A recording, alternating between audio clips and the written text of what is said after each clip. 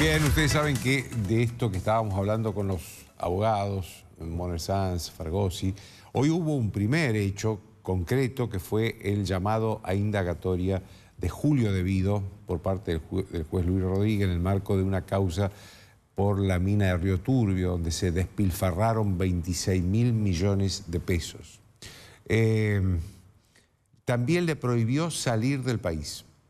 Esto tiene su origen en un dictamen del eh, fiscal Carlos Estornelli que le pidió a este juez Rodríguez eh, en junio del año, de este año, hace tres meses, que eh, tres cosas le pidió, que lo indagara debido, que le pidiera el desafuero en la Cámara de Diputados y que lo detuviera, le dictara la prisión preventiva. Rodríguez primero dijo que no, dijo que no, rechazó la decisión del pedido del fiscal. El fiscal apeló a la Cámara Federal y la semana pasada hubo una resolución, esta que estaban analizando, que analizaron también los abogados, este, una decisión de la Cámara Federal integrada por el doctor Martín Irurzuni y el doctor Leopoldo Bruglia, en la que le dicen, en primer lugar, le anulan la decisión de Rodríguez de no llamar a debido y le piden que dicte otra eh, eh, resolución. Eh, esto significa, a ver, porque, ¿de qué estamos hablando? Estamos hablando de que la Cámara Federal está creando un precedente nuevo para analizar a la situación de libertad o no de los exfuncionarios que este, están siendo investigados por la justicia y que no tienen sentencia definitiva. Porque si no estamos, si esperamos la sentencia definitiva, estamos como Menem, 22 años esperando que haya una sentencia definitiva. Eh, ¿Y la Cámara qué consideró en este caso? Consideró, primero, una acumulación enorme de causas, siempre por corrupción contra Debido. Segundo, que Debido como diputado es miembro de la Comisión de Energía de la Cámara de Diputados y por lo tanto, y como esto es una mina de carbón, y por lo tanto, como miembro de esa comisión, puede obstaculizar el proceso de investigación judicial, que es una de las causas de la prisión preventiva.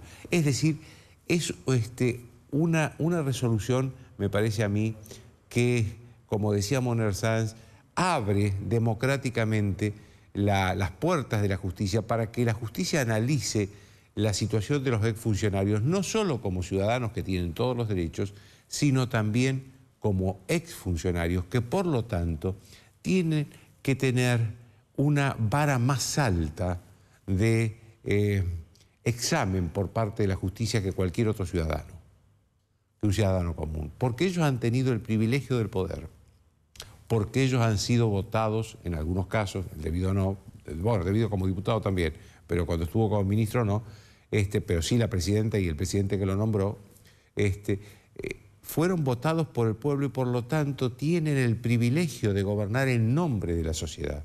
Y como tal, tienen que tener una vara más alta de examen por parte de la justicia. No son ciudadanos comunes. Esto me parece que es una síntesis de la eh, eh, una síntesis arbitraria tal vez, pero bastante acertada de lo que la Cámara Federal quiso decir no son ciudadanos comunes. Y ojo que este precedente puede servir para que se aplique el mismo criterio con muchos otros funcionarios, exfuncionarios, empezando por la expresidenta Cristina Kirchner, que también va acumulando causas, va acumulando procesamientos, va acumulando indagatorias. Ahora el, fiscal Policita acaba, eh, y eso también analizaban ellos, acaba de citarla por eh, la causa de traición a la patria, acaba, perdón, acaba de pedirle al juez Bonadío que la cite indagatoria por traición a la patria.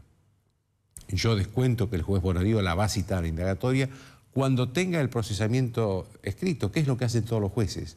Cuando los jueces llaman a declaración indagatoria a este nivel de personajes, exministros, expresidentes, es porque ya tienen el procesamiento redactado. Le dan una última oportunidad de defensa con esa declaración y después lo procesan. Esta es la verdad. En una causa, en una causa que traición a la patria que se complementa con otra que también tiene Bonadío y que hoy el juez la unificó, que es la denuncia del fiscal muerto Alberto Nisman.